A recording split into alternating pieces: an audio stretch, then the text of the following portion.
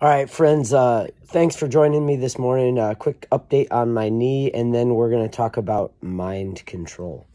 Uh, my knee is healing um, by the great physician. Thank you, Jesus. Um, I got an x ray yesterday. It's been six weeks since I broke my kneecap after tearing my ACL and having surgery.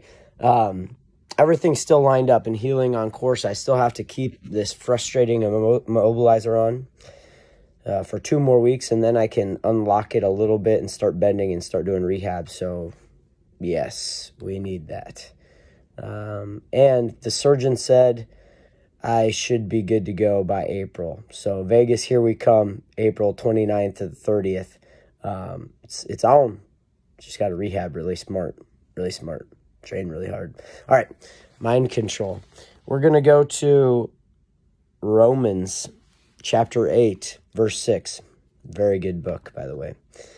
The mind of sinful man is death, but the mind controlled by the Spirit is life and peace.